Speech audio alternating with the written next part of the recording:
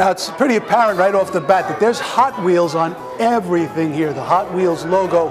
You've been in the game a long time. You must know everybody at Mattel, at Hot Wheels. You have to have a strong relationship. Tell us about that. To be that 10 year old kid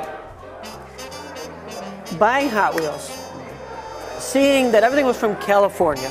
I mean, California was the thing. Oh, to write letters to Mattel, and they would send me stuff at 10 years old, to having my books and calling up people at Mattel, and they know who I am. Right. Are you kidding me? it's like I died and went to heaven. Yeah, yeah. But it didn't start out that way. When I when we first decided to do the book, Mattel wasn't involved. They were just we were just going to do the book and no Hot Wheel logo, just you know uh, Mike Zarnock's var- variations. And um, when my editor Paul Kennedy called me and he, he says um, Mattel's coming on board. So what do you mean Mattel's coming on board? He says, yeah, they're gonna they're gonna sanction the book. They're gonna they're gonna authorize your book. Very cool. So I in in my room at home, I have a picture of the first book without the Hot Wheels flame and the one licensed by Mattel with the flame. I mean, it's just amazing that that Hot Wheels and me, I just like I said, growing up, being a super Hot Wheels collector, I got the collector kit. I was, I was probably the first guy to get the collector kit because I used to write them letters all the time. I never sent that dollar. Just one day it showed up at my house.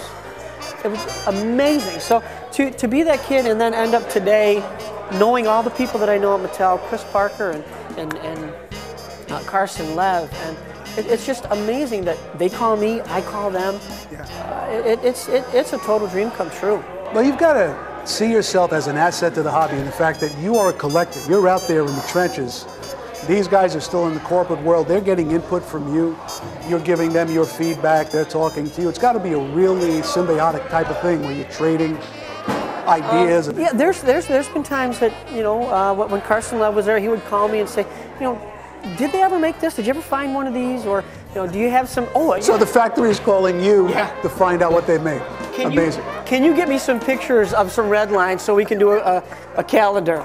Uh, so uh, I, I am so honored, honored to have that kind of relationship with them. And to have them call, you know, we, we were talking one day about the drag strip demon line. And I said, you know how cool it would be to do my old race car? And they just blew it off. You know, we blew it off. And like a week later, Mark Morse calls me and says, uh, were you serious about doing your old race car as the drag strip demon? Yeah. so he says, all right, well, we'll send a contract.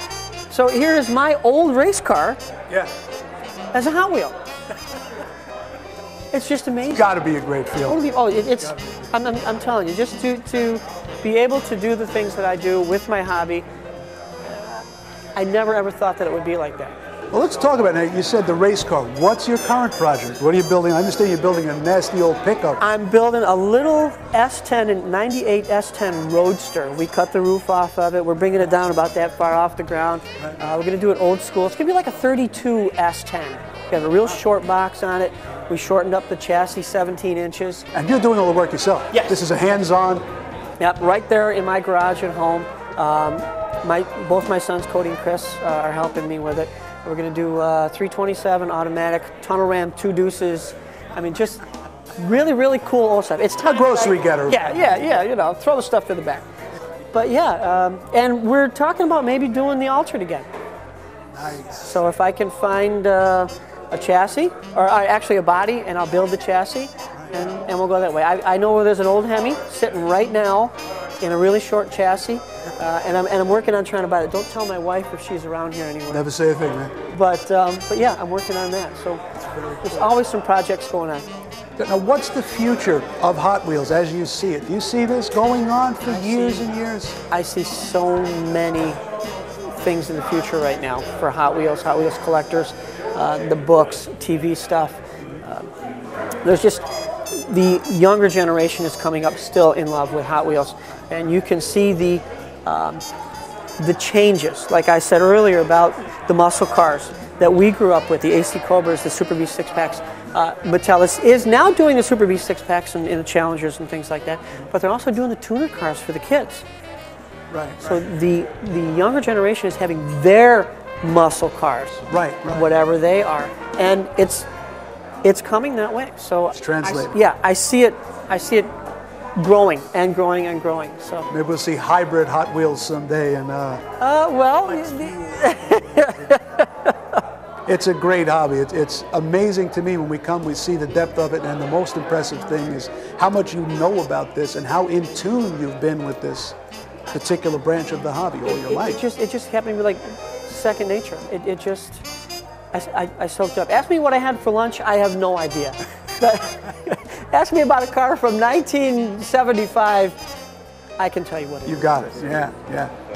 Well, let's have a walk around. There's some interesting sights around. There's a lot of cool stuff here, so let's go check it out.